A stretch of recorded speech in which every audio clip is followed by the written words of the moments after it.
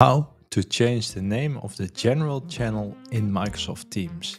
That is what this video is about. I'm Paul Keijzers and I help businesses with Microsoft Teams, SharePoint and Copilot for a living. That's why you can be sure that after watching this video, you know everything you want to know about the channel name, uh, rename of the general channel. And there's a bonus at the end, so let's jump into it. So yes, I already started up Microsoft Teams. So here we are. Um, now uh, you see everywhere there's a general channel, uh, except this one. But um, basically, what you are going to do and what you are able to do is uh, you are going to click on this. And one thing that you need to be aware of, because here you don't see the option to re, or you see the option to rename the channel but you need to be the owner of the team. That's the first giveaway. If you are not a owner of a team, you are not able to rename the general channel. So here I am the owner because there's the option there.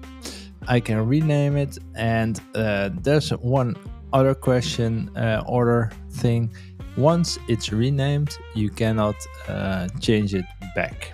So uh, let's go here and uh, call it. Uh, um, I'm gonna call it a Dutch name because this is something that you might uh, not know, but it in Holland we call it algemeen.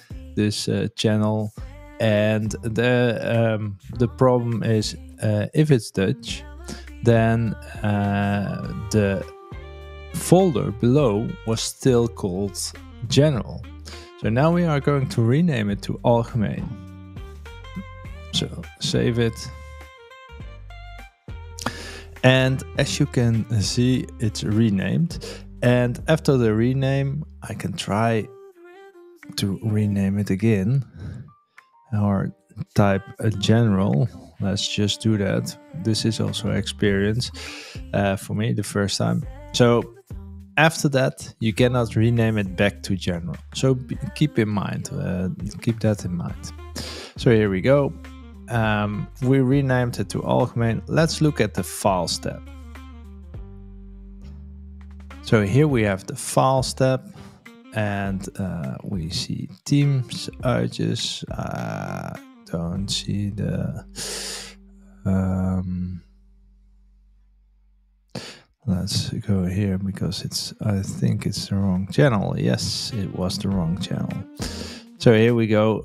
It's called Algemeen. If we go to documents, it's still called Algemeen, which is uh, the correct uh, way you want this to happen. Because, um, as I told you, in Holland we call it different. So you want to have the underlying folder also different. Um, if we would open it up in SharePoint, it would look exactly the same. So this is, uh, um, I think, a very important thing to know. So you can rename the channel to Algemeen and all the folders below that are going to, um, um, or all the all the folders. In this case, the channel folder will be the same name. So this is really important to know. Now, this is very nice because now we can uh, sort on alphabetical order and the general channel is not uh, like in the view. So uh, it's more logical. But there's a big but. We've been working with the general channel since 2017. So when Teams was released, you only had the general channel at that time. And I know, I'm sure, that a lot of people are still using uh, the general channel. And one thing you might already see in my uh, Teams overview is that the general channel, um, sometimes it's general channel, now it's algemeen, and we have here, I don't know, no, it's all general. Here we have a OneNote one it's kind of okay.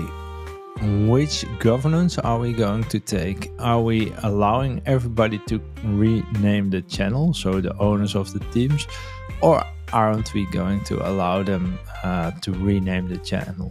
Because we can, of course, do this by a policy uh, in the end uh, to uh, take away the rights to rename the channel.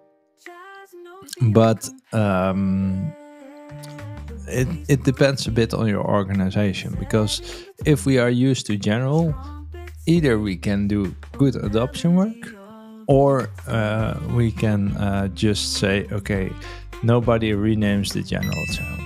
But here comes the bonus. Yes, if you like this video, please like the button at the bottom and don't forget to subscribe to my videos because without you, I cannot make these videos. And it's really important that you uh, give me a like so I can make more videos for you. And um, yes, uh, I think the videos are great for your own company. And uh, yeah, let's just jump back to this bonus question. The bonus is if we create a new team, create team. Now uh, we can give it the name. Uh, so uh, general channel test, a description but now this is new. We can give the name of a first channel name. We have to. So instead of uh, giving it the name general, I could choose any name I want. So this is a bit of a new one, and I think this is really important to know because if we call it uh, algemeen here, or we call it alge, algemeen like this. Uh, it's not correct spelling, but doesn't matter. Um, all right, and we are going to create it. We see that there's a new general uh, channel. I can add members, yes, I know. Uh, a new general channel test with algemeen, but not in the way it's written for everybody. So that's another thing you need to be aware of in your governance. I would suggest that if you are going to create teams, that you are going to uh, create it via a approval process and a provisioning process. This makes it uh, more um, alignable and more alignable to your governance. Um, if you haven't done that, please uh, let me know. Uh, I can help you set it up. If you have done it, great job. So this was what I wanted to show you on uh, the new uh, channel rename of the general channel. And uh, if you want to know more about uh, Microsoft Teams, you can look it up here. And if you, uh, well, that's it.